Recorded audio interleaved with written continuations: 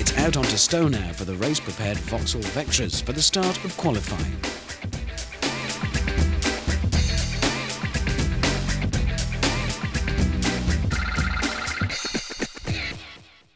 Clinton, how was that? It was a it was a bit shaky. Um, it was you know it's more of a, a chance to get the tyres bedded in all that because they're new tyres in the front, so the car is really all over the place.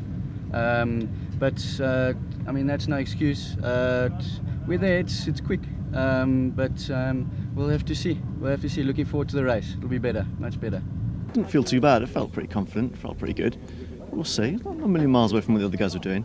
So yeah, I'm a bit happier than I was five minutes ago, ten minutes ago even. But we'll see when the times come up.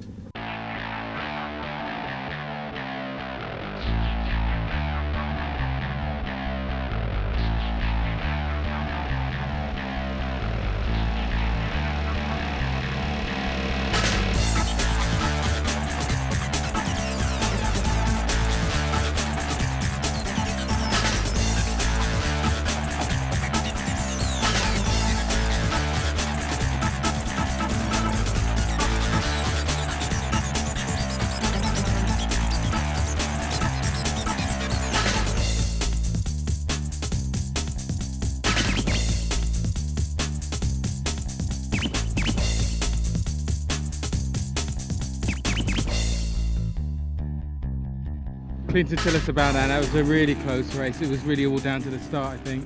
Yeah, no, it's, it's I mean it just proved uh, you know what we've learnt and all that, and it's all gone into that, and uh, we had a great race, Michael and I. So uh, I'm pretty happy with that. Content to go back with second? Uh, no, never. But uh, but you know, we that's the way it goes. We've got to accept it. I knew it would be close. Clinton's a really good racer. I just had to be consistent, try my best. And uh, at the end of the day, I didn't late brake. I didn't push myself too far, and I just kept it in front. It was a good race.